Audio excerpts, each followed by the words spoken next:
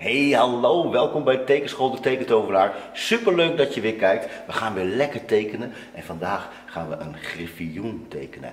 Een griffioen is een uh, mythologisch wezen. Het komt uit het oude Griekenland, heel lang geleden. Um, voorkant van een uh, griffioen is van een adelaar en de achterkant is van een leeuw. En uh, ze zeggen dat hij de baas was over de lucht en over de aarde. Dus de voorkant, zeg maar, de adelaar, was de baas over de lucht. En de achterkant was de leeuw en die is de baas over de aarde. Een super cool wezen. En die gaan we dus mooi tekenen. Dus ik hoop dat je mee gaat doen en dat je potlood en papier al bij de hand hebt, want dan gaan we gewoon van start. Ik begin gewoon met de voorkant en dan ga ik zo langzaam naar de achterkant. En ik hoop dat je het uh, stap voor stap kan volgen wat ik doe. Ik begin met de snavel. Die loopt zo krom als een echte adelaarsnavel. En je ziet wel, ik ga weer schetsen. Hè. Ik ga het niet proberen helemaal met strakke lijnen te tekenen. Want ik ben echt altijd op zoek naar de vormen. Kijk, dan ga ik hier het oog zo tekenen. Een echt adelaaroog. En hij heeft de oren van een paard. Dat is ook wel belangrijk om even te weten. Kijk, en dan gaat hier zo. Er zit een soort van snavelgat in plaats van een neusgat. En dan komt hier een soort van S-bocht. De borst, zo'n hele trotse houding. Dat is een echt mooi wezen, eigenlijk net zoals een draak. Dan een beetje anders. En vleugels natuurlijk. Mooie grote vleugels. Kijk, en die gaat dan ongeveer zo teken ik eerst eventjes de buitenkant ongeveer en dit loopt dan helemaal hier naartoe zo ongeveer hoef je nog niet allemaal uit te detailleren hoor we gaan eerst echt op zoek naar de grote basisvormen ik zie hier komt een voorpoot van een adelaar dus.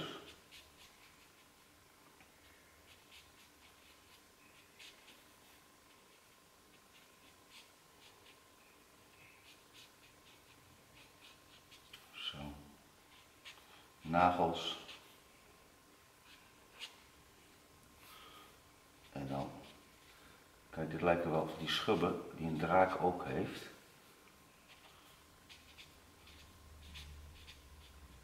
soort van uh, dakpannetjes. Zo teken je dat. Op die manier.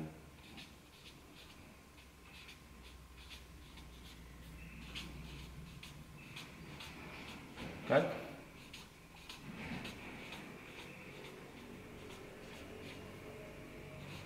Het is wel even een werkje.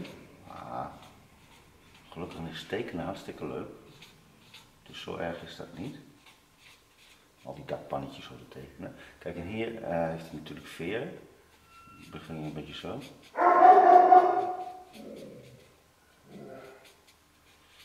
Dat is de hond.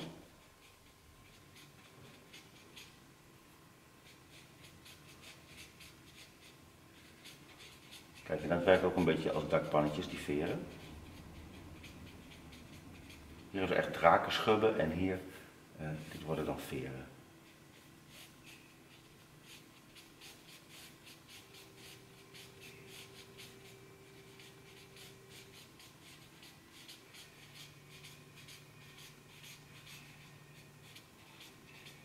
Hier worden de drakenschubben.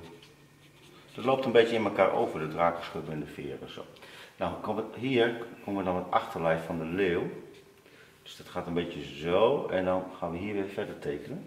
Maak een ronding, wordt de, de kont. Dan gaan we hier zo. Kijk, dit loopt zo en dan zie je het even niet en dan loopt het hier zo door. Dan hebben we hier de achterpoot.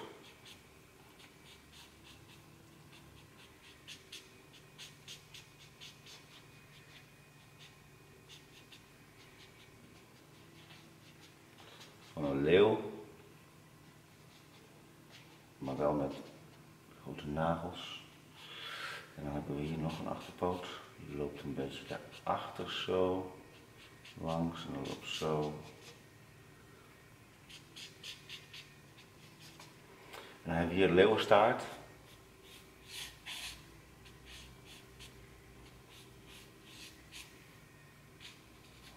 Een pluim. En dan hebben we hier nog een voorpoot van de adelaar.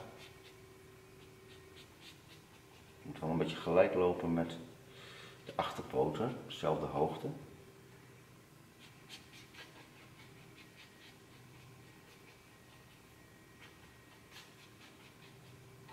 De klauwen, de nagels. Zo. Even kijken. Schaduw aanbrengen. Nog een beetje schaduw. Hier nog een beetje schaduw zo. Hieronder nog een beetje schaduw. Dan krijg je wat meer diepte effect. Alleen aan de onderkant hè, doe ik dat. Even een beetje donkerder lijntje. En hebben we nog de andere vleugel. Die is ook zichtbaar.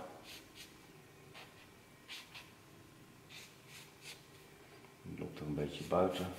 Die is juist wel mooi. Hoeft niet allemaal precies te passen op de tekening.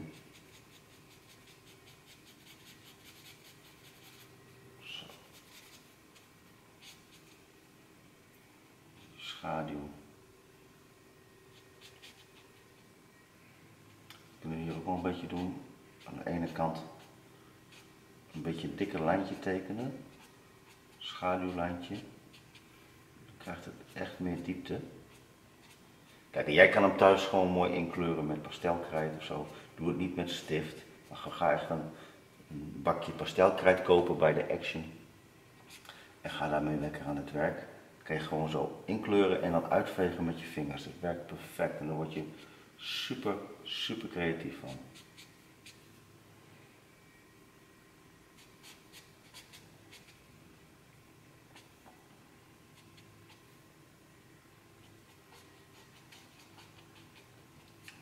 Streepjes. Probeer het nooit te netjes te doen, want de werkelijkheid is niet netjes. Het zijn allemaal streepjes, stipjes, foutjes, lijntjes. En dat maakt het echt zo leuk, hè? want dan kan je lekker spelen. Gewoon lekker spelen op papier. Het hoeft niet perfect te zijn. Het moet juist niet perfect zijn. Want als het juist niet perfect is, dan komt je eigen stijl tevoorschijn.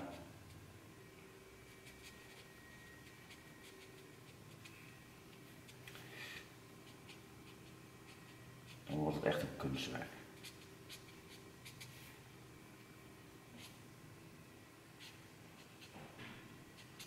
Zo, en dan gaan we nog even een mooie achtergrond erbij tekenen. Wat dacht je van een mooie, uh, ja ik ga een mooi berg, bergachtig landschap zo tekenen.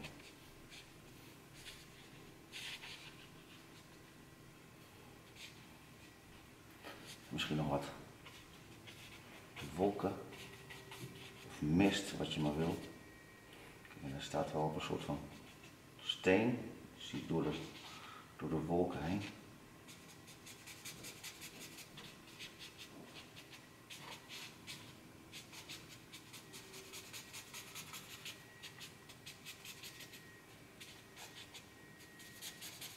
Dat kan je allemaal mooi met kleur doen. Hè?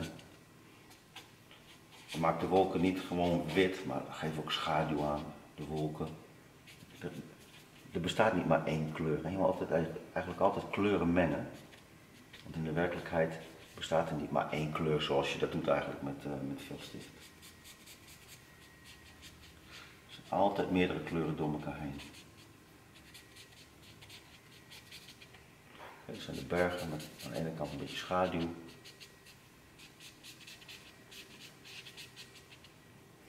En een zonnetje erbij, we, uh, ja, doen we hier de zon zo.